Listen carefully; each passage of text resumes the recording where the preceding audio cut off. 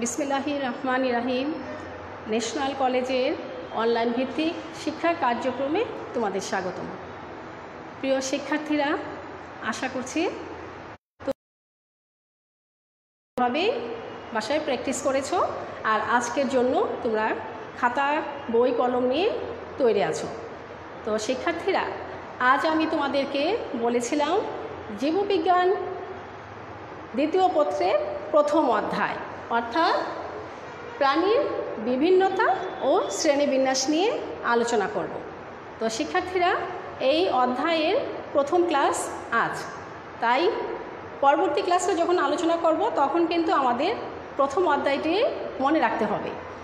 প্রথম ক্লাসটি মনে রাখতে হবে। সেজন্য প্রতিটি ক্লাসকে অত্যন্ত গুরুত্ব দিতে হবে। আর আজকের ক্লাসটি পরবর্তী ক্লাসে আলোচনা করতে গেলে আমাদের অনেক মানে সময় নাও পেতে পারি। তাই আজকে যে বিষয়গুলো আমি আলোচনা করব, সেগুলো অবশ্যই খাতার মধ্যে লিখে রাখবে। কারণ আমার আলোচনার মধ্যে এমসিকিউ, তারপরে জ্ঞানমূলক, অনুধাবন এই প্রশ্নগুলো চলে আসে। শিক্ষার্থীরা, তাহলে ক্লাসে যাই। তো শিক্ষার্থীরা, অধ্যায়টির নাম কি? আমি প্রথমেই বলেছিলাম, অধ্যায়টির নাম হচ্ছে প্রাণীর বিভিন্নতা ও শ্রেণীবিন্যাস। একটি অধ্যায়ের নাম দেখে বোঝা যায় ওই অধ্যায়ের বিষয়বস্তুগুলো কি হতে পারে। তো আমাদের এই অধ্যায়টার নামই হচ্ছে প্রাণী বিভিন্নতা তাহলে আমরা নাম থেকেই বুঝতে পারছি, বিভিন্ন ধরনের প্রাণী আমাদের এই পৃথিবীতে আছে, অসংখ্য অসংখ্য প্রাণী আছে। এই প্রাণীগুলো নানান পৃথিবীর, আমাদের এক জীবনে এত পৃথিবীর এত প্রাণীগুলোর সাথে পরিচয় হওয়া বা সরাসরি দেখা সম্ভব হয় না। তাই বিজ্ঞানীরা বিভিন্ন গবেষণা মাধ্যমে কীভাবে আমাদেরকে বিভিন্ন প্রাণীর সাথে পরিচয় করা দেওয়া যায়, সেই কথাগুলো বিবেচনায় রেখে প্রাণী শ্রেণির বিন্যাসটি উপস্থাপন করেন। আর যা দেখে আমরা শিখে প্রাণীগুলো অন্তত জানতে পারি। আর যখন আমাদের সৌভাগ্য হয়, তখন আমরা প্রাণীগুলোর সাথে সরাসরি পরিচয় হতে পারি। তো শিক্ষার্থীরা প্রাণীর অধ্যায়টির নাম হচ্ছে, আমি আবারও বলছি, প্রাণীর বিভিন্নতা ও শ্রেণীবিন্যাস। তো শিক্ষার্থীরা, প্রাণীর বিভিন্নতা ও শ্রেণীবিন্যাসের মধ্যে তোমরা জানো যে, যখন শিল্প শিল্প বিপ্লবের আগে মানুষের ধারণা ছিল যে পৃথিবীতে মানুষের সংখ্যা ছিল প্রায় এক বিলিয়নের মতো, কিন্তু প্রাণী বৈচিত্র্যের দিক থেকে তাদের সংখ্যা ছিল অসংখ্য অসংখ্য ছিল। কিন্তু শিল্প বিপ্লবের পর মানুষ তার নিজের প্রয়োজনে বিভিন্ন প্রাণী উদ্ভিদকে তাদের বিভিন্ন রাস্তাঘাট উন্নয়ন করার জন্য ঘর বাড়ি তৈরি করার জন্য বিভিন্ন কাজে এই সকল উদ্ভিদ প্রাণীগুলোকে ধ্বংস করতে শুরু করল তাদের নিজেদের প্রয়োজনে। এবং বিংশ শতাব্দীর শেষ প্রান্তে এসে মানুষ বুঝতে পারল যে প্রাণীর প্রাচুর্যতা অর্থাৎ জীব বৈচিত্র্যতা আসলে একটা সীমিত মানে প্রাচুর্যতা নেই। তখন মানুষ সচেতন হয়ে গেল এই প্রাণীগুলোকে, এই উদ্ভিদগুলোকে কীভাবে আমরা সংরক্ষণ করতে পারি এবং এই প্রাণী উদ্ভিদও আমাদের জীবনকে বাঁচিয়ে রেখেছে। তাদেরকে আমাদের এ এখনই যদি সংরক্ষণ না করি, তাহলে ভবিষ্যৎ আমাদের জন্য ভয়াবহতা নিয়ে আসবে। আর তারই প্রেক্ষিতে সমগ্র বিশ্বে এখন উদ্ভিদ প্রাণী সংরক্ষণ বিষয়টি অত্যন্ত গুরুত্বপূর্ণ হয়ে গেল। তো শিক্ষার্থীরা এই পর্যন্ত আমরা জানি যে পৃথিবীতে আমরা জানতাম যে প্রায় পনেরো লক্ষের বেশি আমাদের পৃথিবীতে প্রাণী আছে। আর ভাস্কুলার বান্ডল বিশিষ্ট উদ্ভিদের সংখ্যা ছিল কত? প্রায় দু লক্ষ সত্তর হাজার। ভাস্কুলার বান্ডল উদ্ভিদ তো তোমরা জানো, শিক্ষার্থীরা। তো ভাস্কুলার বান্ডল উদ্ভিদগুলো তো জানো। তাহলে আমি তোমাদেরকে বলছি যে প্রাণীর সংখ্যা কতগুলো ছিল? প্রাণীর সংখ্যা প্রায় প্রাণী প্রজাতির সংখ্যা হ্যাঁ? প্রাণী প্রজাতির সংখ্যা প্রায় প্রায় পনেরো লক্ষের মতো, পনেরো লক্ষের মতো। পনেরো আমরা এখানে পনেরো লক্ষের মতো হ্যাঁ এই তো, আর পনেরো লক্ষের মতো। আর হচ্ছে, আর ভাস্কুলার বান্ডল ভাস্কুলার বান্ডল বিশিষ্ট উদ্ভিদগুলোর সংখ্যা ছিল, বিশিষ্ট উদ্ভিদগুলোর সংখ্যা ছিল কত? উদ্ভিদদের সংখ্যা হচ্ছে দুই লক্ষ সত্তর হাজার। এই দুই লক্ষ সত্তর হাজার। এই ছিল, শিক্ষার্থীরা, এই সংখ্যাটি তোমরা তোমরা এই সংখ্যাটি লিখে ফেলো।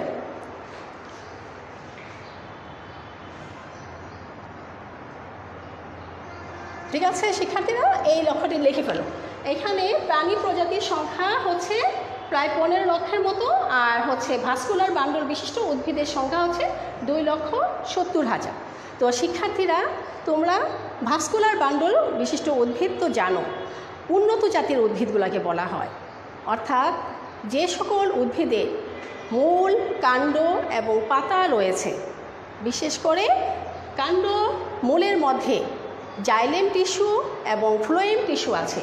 জাইলেম এবং মূলের জাইলেম টিস্যু এবং ফ্লোয়েম টিস্যু। ফ্লোয়েম টিস্যু আছে যাদের, টিস্যু আছে তারাই হচ্ছে কি? ভাস্কুলার বান্ডল, বিশিষ্ট উদ্ভিদ। তারাই হচ্ছে ভাস্কুলার বান্ডল, বিশিষ্ট উদ্ভিদ। তো শিক্ষার্থীরা, এখন আমরা আমি আসছি প্রাণীর বিভিন্নতা, অর্থাৎ প্রাণীর বৈচিত্র্য কী? শিক্ষার্থীরা, তোমরা তো জানো, এই পৃথিবীতে আবাসস্থল কয় ধরনের? পানি, তারপর হয় জল, স্থল, আর আছে আকাশ। এই আকাশে উড়ে বেড়াচ্ছে খেচর। জলে আছে মাছ এবং বিভিন্ন প্রজাতির প্রাণী। স্থলে আছে মানুষসহ অনেক পশু পাখি এখন খেয়াল করো স্টুডেন্টরা, শিক্ষার্থীরা, তোমরা দেখো। তাহলে আমি যদি বলি যে প্রাণী বৈচিত্র্য কী? তোমরা এই সংজ্ঞাটা লিখো। খেয়াল করো। প্রাণী বৈচিত্র্য। এটা পরীক্ষাতে প্রায় সময় আসে। প্রাণী বৈচিত্র্য বা বায়োডিভার্সিটি কী? Biodiversity bio হ্যাঁ বায়োডিভার্সিটি কী? প্রাণী বৈচিত্র্য বা বায়োডিভার্সিটি কী? শিক্ষার্থীরা, এই কিছুক্ষণ আগে আমি বললাম, প্রাণীগুলা পানিতে আছে, জলে আছে, স্থলে আছে। তাহলে এগুলো হচ্ছে তাদের বাস্তু সংস্থান তাহলে বিভিন্ন প্রাণীগুলা, অর্থাৎ জলে, স্থলে এবং আকাশে বিভিন্ন প্রাণীদের মধ্যে জিনগত, প্রজাতিগত এবং বাস্তু সংস্থানগত যে পার্থক্য দেখা যায়, সেই পার্থক্যের কারণগুলি, কারণেই কিন্তু প্রাণীদেরকে একটি বৈচিত্র্য দেখায়। আর এইটি হচ্ছে প্রাণী বৈচিত্র্য বা বায়োডিভার্সিটি। তো শিক্ষার্থীরা, আমি কি বললাম? প্রাণী বৈচিত্র্যটা কোন কোন বিষয়ের উপর নির্ভর করছে? জিনগত, প্রজাতিগত আর বাস্তু সংস্থানগত খেয়াল করো, জিনগত। তোমরা এই জিনিসগুলো খেয়াল করবে। জিনগত। জিনগত কারণে। জিনটা তোমরা রসিকার দিয়ে লিখতে পারো। হ্যাঁ জিনগত, তারপরে হচ্ছে প্রজাতিগত প্রজাতিগত আর হচ্ছে বাস্তু সংস্থানগত সংস্থানগত। খেয়াল করো শিক্ষার্থীরা, জিনগত, খেয়াল করো, আমরা যে বলি যে জিনগতটা কি? এই যে তোমরা ক্লাসে যখন আসো, তোমাদের অনেক বন্ধু বান্ধব আর ক্লাসমেটরা আছে, একই ক্লাসে সবাই কি দেখতে একই রকম?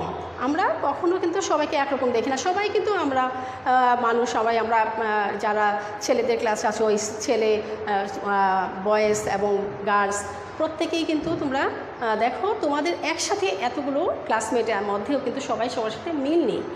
সেটাই হচ্ছে জিনগত। জিনগত কারণে কারণ তার বংশগত থেকে এই পেয়েছে। আমি তোমাদের জিনগত অধ্যায়টি বুঝেছিলাম এই কারণেই তারা ভিন্ন হয়। একই প্রজাতি হয়, অর্থাৎ মানুষ একটা প্রজাতির অন্তর্ভুক্ত। তারপরেও একজন আরেকজনের সাথে মিল নেই। সেটাই হচ্ছে জিনগত কারণ। প্রজাতিগত কারণ কি? যেমন মানুষ, সমগ্র মানুষ ধরো, আমেরিকা বলো নাতিশীতোষ্ণমণ্ডলের মানুষগুলো বলো, সে অস্ট্রেলিয়া বলো আফ্রিকা, নিগ্রো, এরকম সবাই যে মানুষ, ওরা যত কালার যে কোনো বর্ণারই হোক এইটা হচ্ছে মানুষ একটা প্রজাতি। আবার পশু, পাখি, গরু, একটা প্রজাতি, ছাগল, একটা প্রজাতি, সেরকম করা প্রজাতিগত কারণেও প্রাণীদের পার্থক্য দেখা যায়। আর বাস্তু সংস্থানগত তো বুঝতেই পেরেছ বাস্তু সংস্থানটা হলো, আমি যে একটু আগে বললাম যে সাহারা মরুভূমি, তারপরে হচ্ছে এই যে আবার সেই এরকম আমাদের বাংলাদেশের হ্যাঁ নাতিশীতোষ্ণ মণ্ডলে বাস্তু সংস্থান একরকম। এভাবে পৃথিবীর বিভিন্ন বাস্তু সংস্থানগুলোর কারণে বিভিন্ন প্রজাতির প্রাণীদের উদ্ভব হয়। তাই আমরা বলতে পারি এই প্রাণী বৈচিত্র্যের কারণের পিছনে তিনটা মূল কারণ, জিনগত, প্রজাতিগত এবং বাস্তু সংস্থানগত শিক্ষার্থীরা, এইবার আমি তোমাদেরকে যে একটা প্রশ্ন করব। তোমরা সেই প্রশ্নটি আনসার করতে পারবে, সেটা আমার বিশ্বাস। তো শিক্ষার্থীরা, বলো তো, এই যে প্রাণীবিজ্ঞানটা আমরা পড়ছি জীববিজ্ঞান জীববিজ্ঞানের জনককে শিক্ষার্থীরা, তোমাদেরকে আমি প্রশ্নটা করছি, খুব তিরিশ সেকেন্ডের মধ্যে খুব দ্রুত লিখে ফেলবে। জীববিজ্ঞানের জনককে তো শিক্ষার্থীরা আমি যারা পেরেছ ধন্যবাদ, আর যারা ভুলে গেছো, এই মুহূর্তে তারা আমার সাথে লিখে নাও। জীববিজ্ঞানের জনক হচ্ছে কে? অ্যারিস্টটল। হ্যাঁ জীববিজ্ঞানের জনককে শিক্ষার্থীরা, তোমরা কে কে লাইভে আছো একটু দেখে। তো শিক্ষার্থীরা জীববিজ্ঞানের জনক হচ্ছে গ্রিক দার্শনিক অ্যারিস্টটল, ঠিক আছে? উনি কিন্তু গ্রিক দার্শনিক ছিলেন। গ্রিক দার্শনিক অ্যারিস্টটল। এরিস টোর অ্যারিস্টটল বিজ্ঞানী অ্যারিস্টটল ছিলেন? বিজ্ঞানী অ্যারিস্টটল কে ছিলেন? গ্রিক দার্শনিক অ্যারিস্টটল ছিলেন জীববিজ্ঞানীর জনক তো শিক্ষার্থীরা, আমি তোমাদেরকে একটু দেখে তোমরা কে কে লাইভে আছো? হ্যাঁ রেনেসা করিম আচল হ্যাঁ ঠিক আছে, তোমরা রোলটা লিখলে আরও ভালো হয়। আচ্ছা ঠিক আছে, তোমরা হ্যাঁ এই তো, তোমরা অনেকেই আছো আমি দেখতে পাচ্ছি। তো ধন্যবাদ। শিক্ষার্থীরা আহ, পাহাড় হ্যাঁ তুমি আমার তোমরা আমাকে একটু জানিও যদি নেটে একটু ঝাপসা হয় সেই ক্ষেত্রে আমাকে অবগত করবে ঠিক আছে? কারণ প্রত্যেকটা কোশ্চেনই কিন্তু তোমাদের জন্য আমি আরও দেখতে পাচ্ছি। আহ, অ্যালিনা সে তোমার রোল হচ্ছে দুইশো পঞ্চান্ন আমি অনেকেই দেখতে পাচ্ছি। তো শিক্ষার্থীরা আজকে আসলে একটু নেটের সমস্যার জন্য আমার ক্লাসটা পিছিয়ে একটু দেরিতে আসছি, আর সেজন্য একটু ক্লাসটা লেট হয়ে গেছে। অনেকেই হয়তো তোমরা ওই সময়টা অপেক্ষা করে এখন অন্যত্র চলে গেছো। তো আস্তে আস্তে সবাইকে তোমরা কনফার্ম করে দিও যে আমার ক্লাসটা শুরু হয়েছে। তো শিক্ষার্থীরা প্রাণীবিজ্ঞানে বিজ্ঞানের জনক কে বলেছিলাম? গ্রেক দার্শনিক অ্যারিস্টটল। গ্রেক গ্রেক দার্শনিক অ্যারিস্টটল হচ্ছে প্রাণীবিজ্ঞানের জনক। আচ্ছা এই শিক্ষার্থীরা তোমরা সবাই জানো, দ্বিপদ নামকরণের কথা। দ্বিপদ নামকরণ। শিক্ষার্থীরা, এই দ্বিপদ নামকরণ কি? দ্বিপদ নামকরণ কি? দুটি ল্যাটিন শব্দের সমন্বয়ে, বিজ্ঞানসম্মতভাবে কোনো উদ্ভিদ বা প্রাণীর যে নামকরণ করা হয়, সেটাই হচ্ছে দ্বিপদ নামকরণ। তো শিক্ষার্থীরা, আমার পরের প্রশ্নটা হচ্ছে দ্বিপদ নামকরণের জনককে শিক্ষার্থীরা, দ্বিপদ নামকরণের জনককে তাহলে তোমরা অবশ্যই জানো দ্বিপদ নামকরণের জনক। শিক্ষার্থীরা, তোমরা এত এই প্রশ্নটার উত্তর দিয়ে আমাদের লিখে দেখাও, তাড়াতাড়ি। তোমাদেরকে আমি তিরিশ সেকেন্ড সময় দিলাম। বিপদ নামকরণের জনককে বিপদ আমি এখন লিখছি মিলে নাও। বিপদ নাম পদ- পদের বিপদ নামকরণের জনককে তোমাদেরকে আরেকটু সময় দিচ্ছি? তোমরা দ্রুত লিখে ফেলো। সুইডিশ বিজ্ঞানী ক্যারলাস লিনিয়াস।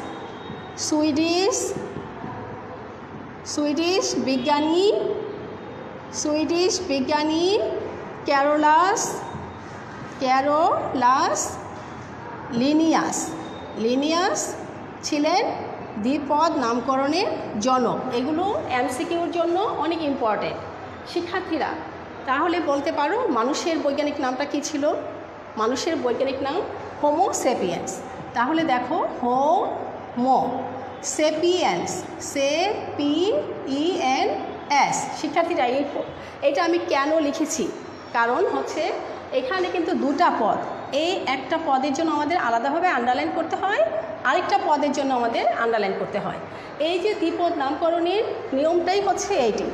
তোমরা যদি হোমো সেপিয়েন্স লিখে রাখো, কিন্তু কোনো কারণে নিচে দুটা পদের নিচে আন্ডারলাইন করতে ভুলে যাও, তাহলে নামটি ভুল হবে। তাই আমরা বিপদ নামকরণের নিচে আলাদা আলাদাভাবে দুইটা পদকে একটা পদ হচ্ছে হোমো আর একটি পদ হচ্ছে সেপিয়েন্স এই হচ্ছে দ্বিপদ নামকরণ। শিক্ষার্থীরা, তাহলে তোমরা দ্বিপদ নামকরণে, এখন বলো তো আই দ্বিপদ নামকরণের জন্য আই সি জেড এন এই নিয়মটি মানা হয়। তাহলে আমার প্রশ্ন হচ্ছে, আই, সি, জেড, এন এর পূর্ণ নামটি কি?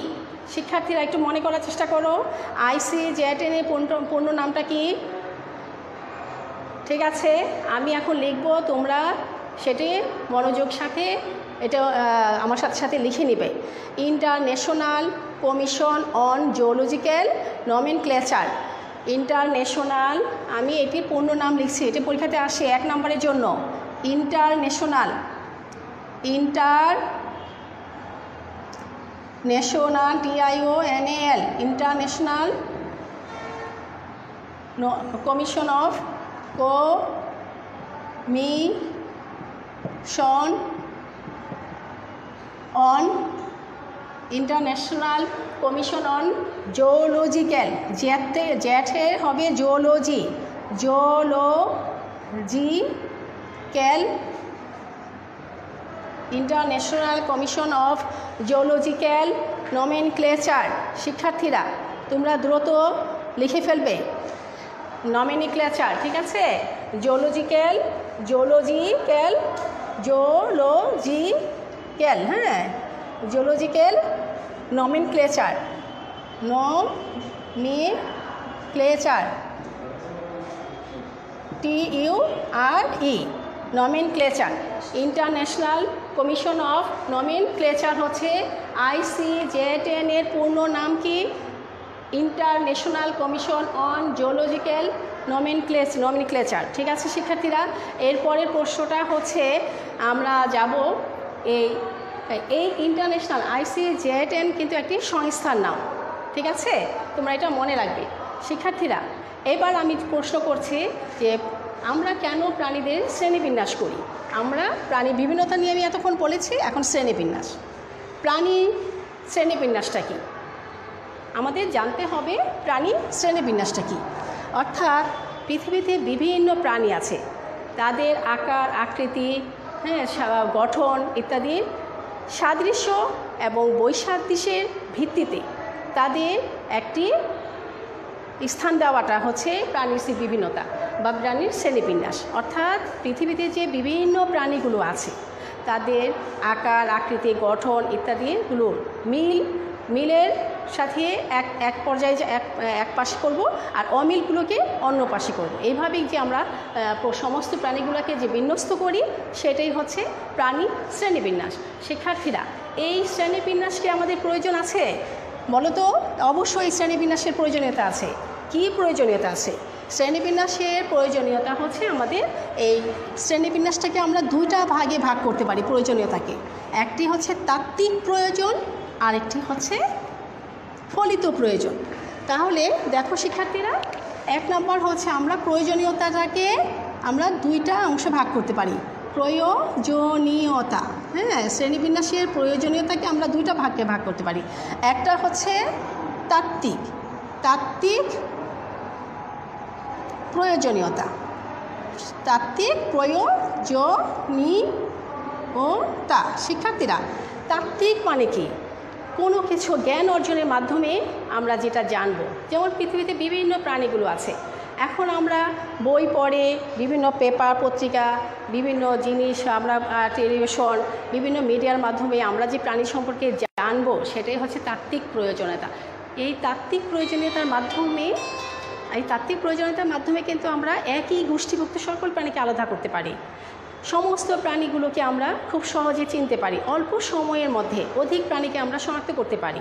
আর আরেকটা প্রয়োজনীয়তা, এভাবে আমরা আরও প্রয়োজনীয়তা দিতে পারি। তারপরে হচ্ছে আরেকটি প্রয়োজনীয়তা যদি আমরা বলি, তাত্ত্বিক প্রয়োজনীয়তা, আরেকটা হচ্ছে ফলিত প্রয়োজনীয়তা। শিক্ষার্থীরা, ফলিত, তোমরা খেয়াল করো, ফলিত প্রয়োজনীয়তা। শিক্ষার্থীরা, ফলীয় প্রয়োজনীয়তাটা কি? আসলে ফলিত প্রয়োজনীয়তাটা হচ্ছে যে তাত্ত্বিক জ্ঞানের আলোকে আমরা যখন এই প্রাণীগুলোকে আমরা জ্ঞান অর্জন করার পর যখন এটা আমাদের প্রয়োগ করব। সেটাই হচ্ছে ফলিত প্রয়োজনীয়তা যেমন আমরা মৎস্য চাষ করব, চিংড়ি চাষ করব, আমরা কার্প জাতীয় মাছের চাষ করব। আমরা যদি সেটা না জেনে তো করতে পারব না জানাটা হচ্ছে তাত্ত্বিক প্রয়োজনীয়তা আর সেটাকে যখন আমরা প্রয়োগ করব সেটা হচ্ছে ফলিত প্রয়োজনীয়তা। ফলিত প্রয়োজনীয়তার মাধ্যমে আমরা মানে বন্য প্রাণীগুলোকে শনাক্ত করতে পারব। বিভিন্ন ক্ষতিকারক কীট পতঙ্গগুলোকে আমরা শনাক্ত করে আমরা সেগুলো থেকে নিজেদেরকে রক্ষা করতে পারব। এইভাবে আমরা বিভিন্নভাবে তাত্ত্বিক এবং ফলিত প্রয়োজনীয়তা আমরা জানতে পারি। শিক্ষার্থীরা, এবার আমি তোমাদেরকে আসল মূল টপিক্সে আছে, আসছি, সেটা হচ্ছে প্রাণী শ্রেণীবিন্যাসের প্রয়োজনীয়তা। শিক্ষার্থীরা তো তোমরা, আমি তোমাদেরকে দেখতে পাচ্ছি, সুষমা আছো, জেরিন আছো, সাবিয়া সাবিয়া আছো, আচল আছো, সাকিরা আর আঁচল। তোমাদেরকে দেখতে পাচ্ছি তোমরা অস তোমাদেরকে ধন্যবাদ। তোমরা আমার ক্লাসটিকে আমার সাথে তোমরা থেকে যাও। আর সাবরিনা আছো, তোমাদেরকে দেখতে পাচ্ছি হ্যাঁ মারিয়া, মারিনা আছো। তোমরা আমার প্রশ্নগুলো আনসারগুলো দেওয়ার চেষ্টা করো এবং আজকের ক্লাসটা ফলো করো। পরবর্তী ক্লাসে কিন্তু এর পরে অংশ থেকে আমি আলোচনা করব। তো শিক্ষার্থীরা, আমি প্রাণীর শ্রেণীবিন্যাস নিয়ে আলোচনা করছিলাম। হ্যাঁ বিজ্ঞানী হিকেলম্যান, বিজ্ঞানী হিকম্যান, বিজ্ঞানী হিকম্যানের মতে, বিজ্ঞানী হিকম্যানের মতে, খেয়াল করো শিক্ষার্থীরা, বিজ্ঞানী বিজ্ঞানী Hickman H I C K M N বিজ্ঞানী হিকম্যান এর মতে এর মতে, পৃথিবীতে কতটি পর্ব, কত কত পর্বের প্রাণী আছে শিক্ষার্থীরা? তোমরা কি জানো? বিজ্ঞানী হিকম্যানের মতে, পৃথিবীতে কত পর্বের প্রাণী আছে? যদি পারো, তাহলে দ্রুত লিখে ফেলো, আর আমি লিখে ফেলছি, তোমরা আমার সাথে মিলিয়ে নাও। প্রায় তেত্রিশটি পর্ব। তেত্রিশ পর্ব আছে। তেত্রিশ পর্বের প্রাণী আছে, বিজ্ঞানী হিকমেলের মতে। ঠিক আছে? তেত্রিশ পর্বের প্রাণী আছে। এখন আমার কথা হচ্ছে, এই তেত্রিশ পর্বের মধ্যে মেজর পর্ব কয়টি? শিক্ষার্থীরা ক্লাসে কিন্তু আমি বলেছিলাম, মনে থাকলে লিখে ফেলো। হ্যাঁ আর তারপরেও আমি লিখছি মেজর পর্ব হচ্ছে মেজর বা মুখ্য পর্ব। মেজর পর্ব দেখো শিক্ষার্থীরা মেজর পর্ব বা মুখ্য পর্ব। মুখ্য পর্ব হচ্ছে, মুখ্য পর্ব হচ্ছে এই নয়টি। আর মাইনর পর্ব মাইনর হ্যাঁ বা গৌণ। গৌণ পর্ব হচ্ছে পর্ব হচ্ছে কয়টি? চব্বিশটি। তো শিক্ষার্থীরা এই হলো তিরিশটি। এই হচ্ছে তিরিশটি পর্ব। তাহলে এই তিরিশটি পর্বের মধ্যে আমি আজকে এই নয়টি পর্বে নিয়ে দেখা যাচ্ছে, এই নয়টি পর্ব নিয়ে আমি এখন আলোচনা করব হ্যাঁ শিক্ষার্থীরা? তাহলে মুখ্য পর্ব হচ্ছে নয়টি আর মাইনর বা গৌণ পর্ব হচ্ছে চব্বিশটি।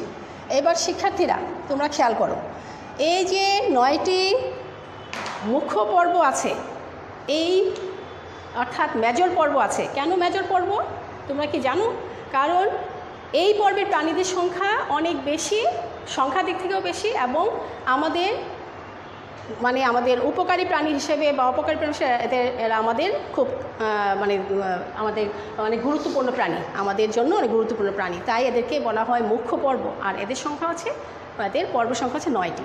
আর গৌণ পর্ব হচ্ছে যাদের সংখ্যা দিক থেকে কম এবং তাদের প্রয়োজনীয়তাটা আমাদের ক্ষেত্রে অনেকটা কম। সেরা, তারা হচ্ছে গৌণ পর্ব। তো এখন এই নয়টি পর্বের মধ্যে, নয়টি পর্বের মধ্যে তোমরা বলো তো নটকর্ডের ভিত্তিতে নয়টি পর্বকে কয়টি ভাগে ভাগ করা হয়েছে? অর্থাৎ নটকর্ডের ভিত্তিতে প্রাণীগুলোকে কয়টি গ্রুপে ভাগ করা হয়েছে। শিক্ষার্থীরা, তোমরা যদি জানো, দ্রুত লিখে ফেলো। আমি আবারও বলছি, নটকর্ডের উপস্থিতি এবং অনুপস্থিতির ভিত্তিতে সকল প্রাণীদের কয়টি গ্রুপে ভাগ করা হয়েছে? আমি লিখছি, তোমরা মিলিয়ে নাও। দুইটি গ্রুপে ভাগ করা হয়েছে। হ্যাঁ দুইটি গ্রুপে ভাগ করা হয়েছে। ভাগ করা হয়েছে। খেয়াল করো, এর মধ্যে একটি হচ্ছে একটি হচ্ছে non Chordata non Chordata non Chordata পর্ব, আরেকটি হচ্ছে করডাটা পর্ব। ও, আর কর ডাটা পড়ব তো শিক্ষার্থীরা নন করডাটা পড়ব আরেকটি হচ্ছে করডাটা পড়ব আজকে আমি নন করডাটা পর্বের কিছু প্রাণী নিয়ে আলোচনা করতে পারব। দুইটি পর্ব বা তিনটি। কারণ আমার ক্লাস টাইম একটা সীমিত থাকে, শিক্ষার্থীরা তোমরা যদি দ্রুত না লিখো তাহলে পারবে না, কারণ এখানে আমাদের সময়টা নির্দিষ্ট করা।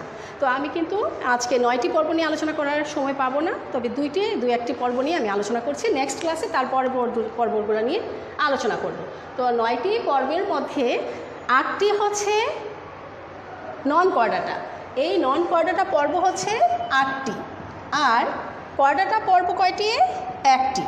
এই হচ্ছে মুখ্য বা মেজর পর্বের প্রাণী নয়টির মধ্যে নয়টি নয়টি মেজর পর্বের মধ্যে আটটি হচ্ছে নন কর্ডাটা পর্ব আর একটি হচ্ছে করডাটা পর্ব। আমি আজকে তোমাদেরকে নন করডাটা পর্বের প্রাণীদের নিয়ে একটু আলোচনা করব। তাদের সম্পর্কে একটু জানানোর চেষ্টা করব। তো শিক্ষার্থীরা, আর বেশি সময় দেওয়া যাবে না, তোমরা দ্রুত কাজটি করবে। এই পর্ব, এই অধ্যায়টি অনেক গুরুত্বপূর্ণ। প্রতি বছরই এখান থেকে বিভিন্নভাবে কোশ্চেন করা হয় এবং এখান থেকে উত্তর দিলে মার্কসটা ভালো পাওয়া যায়। তো শিক্ষার্থীরা, আমি তোমাদেরকে নন কোয়ার্টার পর্বের প্রথম পর্বটি কী হচ্ছে? নন কোয়ার্টার থেকে প্রথম পর্বটি হচ্ছে পর্ব এক বা ফাইলাম এক। পর্ব এক। পরিফেরা।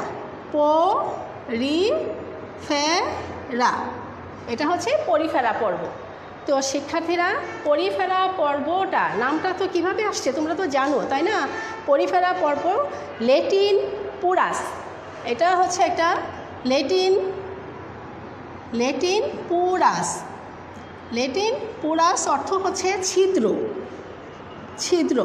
আর ফেরা ফেরা শব্দটি হচ্ছে কি? লেটিন ফেরা শব্দটি হচ্ছে কি হতে পারে? বহন করা। ফেরা, এই ফেরা শব্দটি হচ্ছে বহন করা। এফ ই আর এ, ফেরা হলো বহন করা বহন করা। তো শিক্ষার্থীরা, তো ছিদ্র বহন করে যে পর্বের প্রাণীরা, তারাই হচ্ছে পরিফেরা পর্বের প্রাণী। তো শিক্ষার্থীরা, এই পর্বটির নামকরণ করেছিলেন কে? Robert grant. হ্যাঁ নামকরণ করেছিলেন যে বিজ্ঞানী, তার নাম হচ্ছে, তোমরা সবাই লিখে ফেলো, রবার্ট রবার্ট গ্রান্ট। যে, গ্রান্ট হ্যাঁ এই বিজ্ঞানী এই পর্বের নাম সর্বপ্রথমে এই পর্বের নামকরণ করেন, রবার্ট গ্রান্ট। কত সালে শিক্ষার্থীরা? আঠারোশো ছত্রিশ সালে। আঠারোশো ছত্রিশ সালে। এই পর্বের নামকরণ করেন। কে করেন? সর্বপ্রথম রবার্ট গ্রান্ট পরিফেরা পর্বে নামকরণ করেন আঠারোশো ছত্রিশ সালে। শিক্ষার্থীরা দ্রুত লিখে ফেলো এবং জীবন্ত প্রজাতির সংখ্যা হচ্ছে আট হাজার ছয়শো উনসত্তরটি এই পর্বের জীবন্ত প্রজাতির সংখ্যা। জীবন্ত প্রজাতির সংখ্যা, জীবন্ত প্রজাতির সংখ্যা তিন, সংখ্যা আট হাজার, লিখে ফেলো দ্রুত, আট হাজার ছয়শো উনষাটটি। আট হাজার ছয়শো উনষাটটি হচ্ছে জীবন্ত প্রজাতির সংখ্যা, শিক্ষার্থীরা। এই পর্বের প্রাণীগুলো কেমন করে অবস্থান করে? এরা বেশিরভাগই সমুদ্রে বসবাস করে। এরা সমুদ্রের মধ্যে বিভিন্ন বর্ণের হয়ে থাকে। লাল, কমলা, ধূসর, বেগুনি, নীল ইত্যাদি বর্ণের হয়ে থাকে। আর এরা দেখতে ঢালপালা বিশিষ্ট গাছের মতো অথবা ফুলদানির মতো। এরা সমুদ্রের মধ্যে স্পঞ্জ নামে পরিচিত। শিক্ষার্থীরা, এরা হচ্ছে প্রাচীনতম সরল প্রকৃতির প্রাণী এবং তারা সমগ্র দেহে ছিদ্রাল আছে আর সেই জন্য তাকে স্পঞ্জ নামে পরিচিত তারা। তো শিক্ষার্থীরা, এদের যে বৈশিষ্ট্যগুলো আছে, সেই বৈশিষ্ট্যগুলো আমরা সবাই মোটামুটি জানি এই পর্বের প্রাণীদের বৈশিষ্ট্যগুলো কী কী হতে পারে শিক্ষার্থীরা। দ্রুত আর বেশি সময় লেখা দেওয়া যাবে না। অধিকাংশ প্রাণীগুলো বৈশিষ্ট্য এক। শিক্ষার্থীরা দ্রুত লিখে ফেলো, খুবই ইম্পর্টেন্ট এই প্রশ্নগুলো আসে। বৈশিষ্ট্য এক নম্বর, বৈশিষ্ট্য হচ্ছে অস্ট্রিয়া নামক দেহে, অস্ট্রিয়া নামক অসংখ্য ছিদ্র থাকে। দেহে অস্ট্রিয়া, ছিদ্রগুলোর নাম হচ্ছে অস্ট্রিয়া। অস্ট্রিয়া নামক অসংখ্য ছিদ্র থাকে। অসংখ্য ছিদ্র থাকে এই প্রাণীগুলো তারপরে দুই নাম্বার দুই নাম্বার বৈশিষ্ট্য হচ্ছে আমরা কি লিখতে পারি? এই পর্বে প্রাণীগুলোর মধ্যে কিন্তু তাদের ইয়া, কোষগুলো কিন্তু সুগঠিত নয়। হ্যাঁ কোষগুলো কোষগুলো সুগঠিত নয়। সুগঠিত নয় এবং অন্তকঙ্কাল অন্তকঙ্কাল অন্তকঙ্কাল, ক্যালসিয়াম কার্বনেট বিশিষ্ট। ক্যালসিয়াম, অন্তকঙ্কাল, ক্যালসিয়াম কার্বনেট। অন্তকঙ্কাল, ক্যালসিয়াম কার্বনেট যুক্ত হয়। কার্বনেট বিশিষ্ট, ঠিক আছে? তো আমরা লিখতে পারি কার্বনেট বিশিষ্ট। আর এদের পানি শিক্ষার্থীরা তোমরা কে কে আছো দেখি? তোমরা হ্যাঁ শিক্ষার্থীরা, তোমরা ছাব্বিশ জনের মতো আছো, আর তোমরা সবাই ভালোই হ্যাঁ ভালোই হচ্ছে। আচ্ছা ঠিক আছে, তোমাদের যদি ভালো হয়, এটাই আমার সার্থকতা। নিয়ে আবার বলব? ঠিক আছে, আবার বলছি। শিক্ষার্থীরা তোমরা সবাই কিন্তু রোলগুলো লিখবে। রোলগুলো লিখলে আমি বুঝতে পারব আমার কোন স্টুডেন্ট কোন স্টুডেন্ট আমার ক্লাসগুলো করছে। রোলগুলো আমার জন্য জরুরি। শিক্ষার্থীরা রোলগুলো লিখে ফেলো, আর তোমরা বলছো আমাকে আবার বলার জন্য। হ্যাঁ আমি আবারও বলছি। দেখো অস্ট্রিয়া আমি বলেছিলাম না যে পরিফেরা মানে ছিদ্রাল বিশিষ্ট প্রাণী, তাহলে দেহটা, এই ছিদ্রগুলোর নাম হচ্ছে অস্ট্রিয়া অস্ট্রিয়া নামক অসংখ্য ছিদ্র থাকে এই সকল প্রায় পর্বের প্রাণীদের দেহে। আর দেহ কোষগুলা কিন্তু বহুকোষী হলেও কোষগুলা সুগঠিত নয়। আর তাদের অন্তকঙ্কাল ক্যালসিয়াম কার্বনেট বিশিষ্ট। শিক্ষার্থীরা এবার কি তোমরা বুঝতে পেরেছ? লেখাটা বুঝতে পেরেছ? হ্যাঁ। মা, তোমরা চৌত্রিশ জন উপস্থিত আছো থ্যাংক ইউ তোমরা এভাবে ক্লাস করলে, আমিও পরবর্তী ক্লাসগুলো ভালোভাবে চালিয়ে যেতে পারব। শিক্ষার্থীরা, তোমরা খেয়াল করো। আর হচ্ছে পানি প্রবাহের জন্য, তিন নম্বর বৈশিষ্ট্য, আমার কিন্তু ক্লাস টাইম প্রায় শেষ, তোমরা দ্রুত করো। হ্যাঁ পানি প্রবাহের জন্য, পানি প্রবাহের জন্য, দেহের ভিতর যে পানিগুলো থাকে, তা প্রবাহের জন্য তাদের নালিকা পদ আছে, বিশেষ ধরনের নালিকা পদ আছে। হ্যাঁ বিশেষ ধরনের বিশেষ ধরনের নালিকা বিশিষ্ট। ঠিক আছে? বিশেষ ধরনের নালিকা নালিকা সমৃদ্ধ তাদের পানি। হ্যাঁ নালিকা তন্ত্র দেখা যায় বিশেষ ধরনের। তো শিক্ষার্থীরা, দেখো, নালিকা তন্ত্র রয়েছে। রয়েছে। আরেকটা বৈশিষ্ট্য দেখো, চার নম্বর বৈশিষ্ট্যটা আমরা তোমরা দ্রুত ওই প্রশ্নটা লিখে ফেলো, যে উত্তরটা লিখে ফেলো। আর তাদের কিন্তু পূর্ণাঙ্গ প্রাণীরা কিন্তু নিশ্চল হয়। পূর্ণাঙ্গ যখন হয়ে যায়, পূর্ণাঙ্গ হয়ে গেলেই পূর্ণাঙ্গ প্রাণীগুলো নিশ্চল হয়। প্রাণীগুলো নিশ্চল হয়। হ্যাঁ শিক্ষার্থীরা এটাও লিখে ফেলো। পূর্ণাঙ্গ প্রাণীগুলো হচ্ছে নিশ্চল। আর স্পিকিউল নামক অসংখ্য চুনময় ক্ষুদ্র কাটা থাকে। স্পিকিউল নামক অসংখ্য চুনময় কাটা থাকে। আমি সেটা লিখছি আর বেশি আগানো যাবে না, তাড়াতাড়ি করে ফেলো। পাঁচটা বৈশিষ্ট্য। স্পিকিউল নামক, স্পিকিউল স্পিকিউল নামক অসংখ্য অসংখ্য অসংখ্য চুনময় চুনময় কাটা থাকে। কাটা থাকে তাদের দেহে। তো এখন আমি উদাহরণ হিসাবে আমি উদাহরণ হিসাবে অনেক উদাহরণ আছে। আমি একটি উদাহরণ বৈজ্ঞানিক নাম হিসেবে দিতে চাচ্ছি সেক্ষেত্রে স্পঞ্জিলা লোকাস্ট্রেস। স্পঞ্জিলা। শিক্ষার্থীরা, স্পঞ্জিলা। এই স্পঞ্জিলা নিচে আন্ডারলাইন করতে হবে। দ্বিপদ নাম তো, তাই আন্ডারলাইন করবা। লোকাস্ট্রিস। লোকাস্ট্রিস এল ও পরেরটা ছোট হাতের হবে। Lacustris T R I S lacustris Spongilla lacustris এই হচ্ছে হ্যাঁ তার বৈজ্ঞানিক নাম। তো শিক্ষার্থীরা, আরেকটা শেষ করে আমি আজকে বেশি যেতে পারব না, আরেকটা পর্ব করব পরবর্তী ক্লাসে আমি বাকি পর্বগুলো নিয়ে আলোচনা করব। দ্বিতীয় পর্বটা হচ্ছে পরিফেরা। পরিফেরা গেল নিডারিয়া। শিক্ষার্থীরা আমি নিডারিয়া পর্বটা নিয়ে আলোচনা করে আজকে সম্ভবত আর হবে না। পরবর্তীতে আমি আরও যে সাতটা পর্ব আছে সেটি নিয়ে আলোচনা করার চেষ্টা করব। আমার দ্বিতীয় পর্বটা তোমরা লিখে ফেলবে সাথে সাথে। দ্বিতীয় পর্বটা হচ্ছে কি? নিডারিয়া।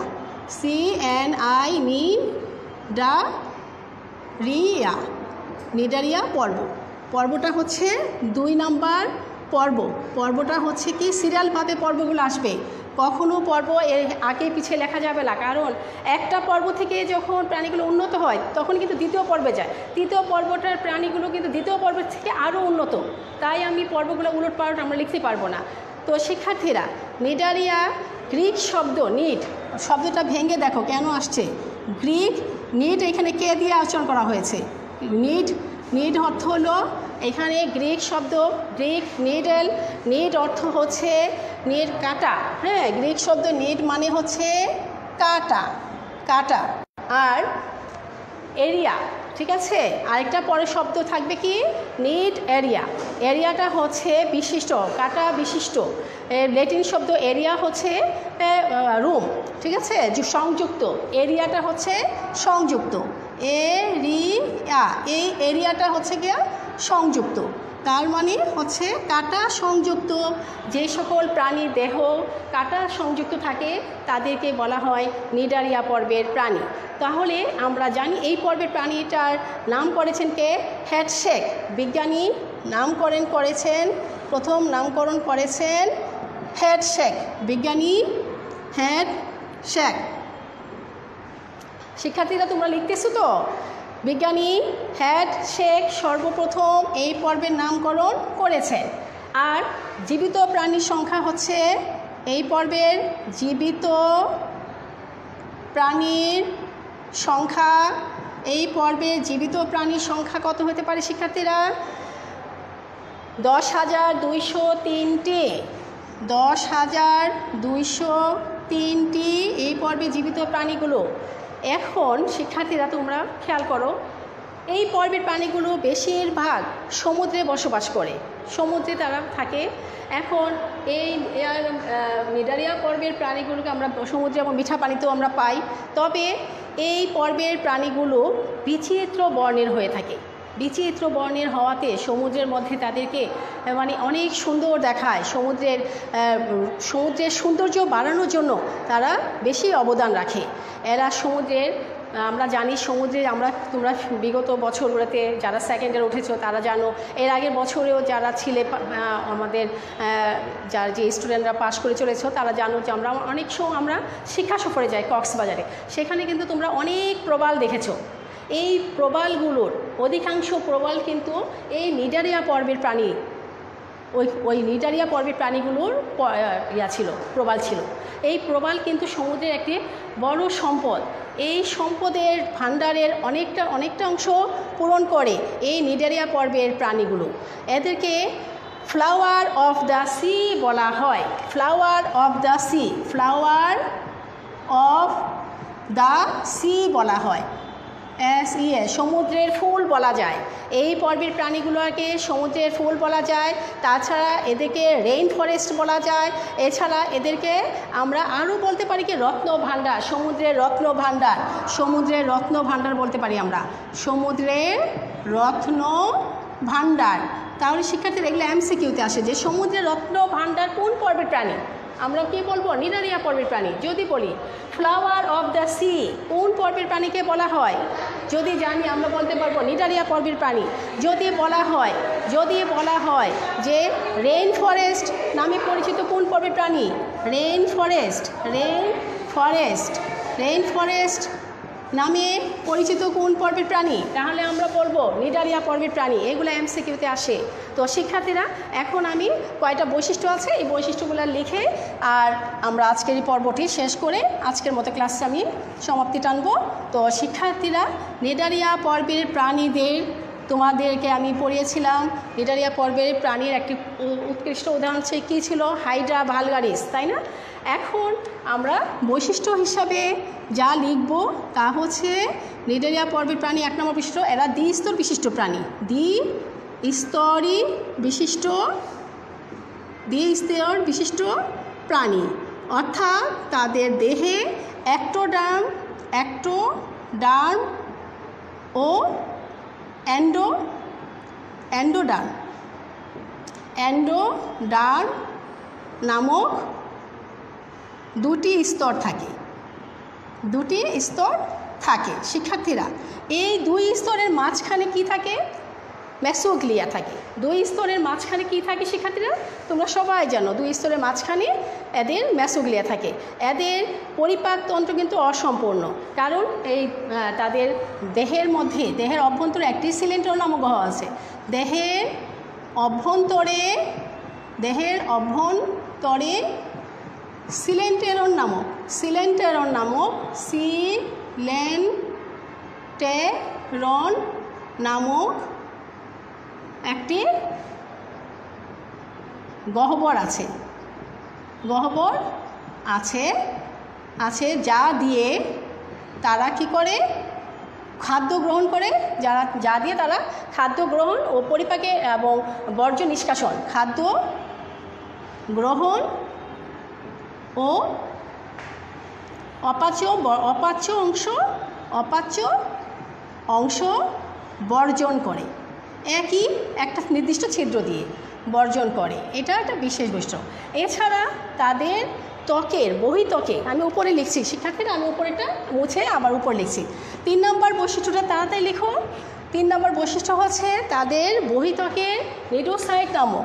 তিন নম্বর, তাদের তাদের বহিত্বকে বহিত্বকে নিডোসাইট নামক নিডো সাইড নামক অসংখ্য কোষ আছে। অসংখ্য অসংখ্য কোষ আছে। কোষ আছে। এই নিডোসাইড কোষগুলা কি করে তোমাদের তো মনে আছে? আত্মরক্ষার কাজে, যারা আত্মরক্ষার কাজে ব্যবহৃত হয়, যারা আত্মরক্ষার কাজে ব্যবহৃত হয়। আত্মরক্ষার কাজে ব্যবহৃত হয়।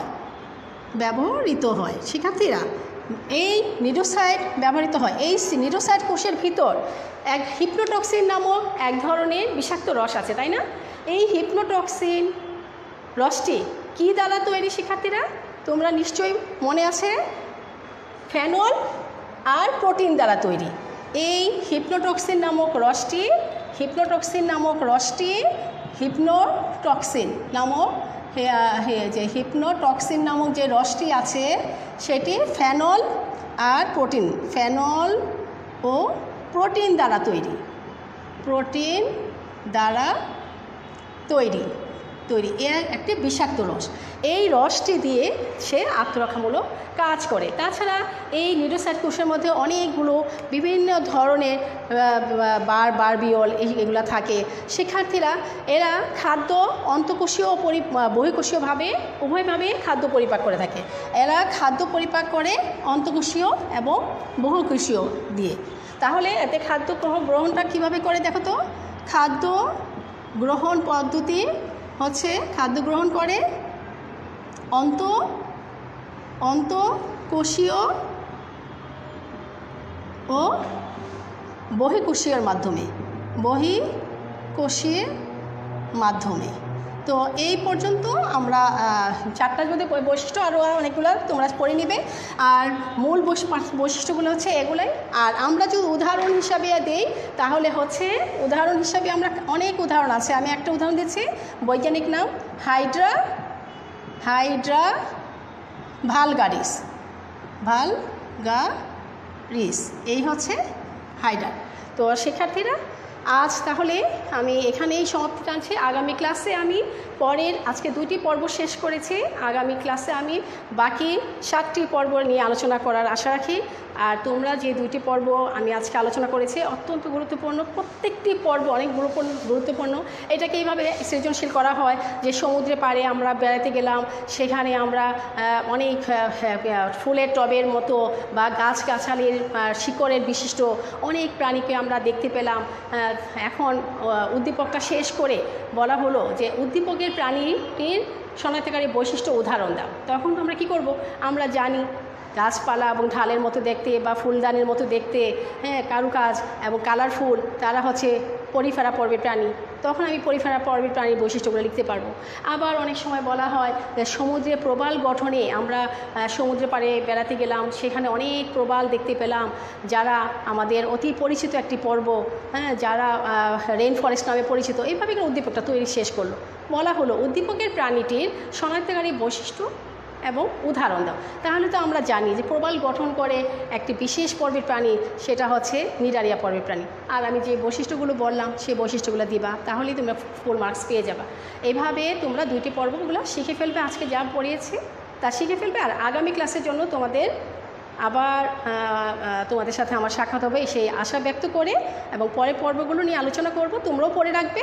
সেই পর্যন্ত তোমরা ভালো থেকো, সুস্থ থেকো, আর আমাদের জন্য দোয়া করো। আল্লাহ হাফিজ।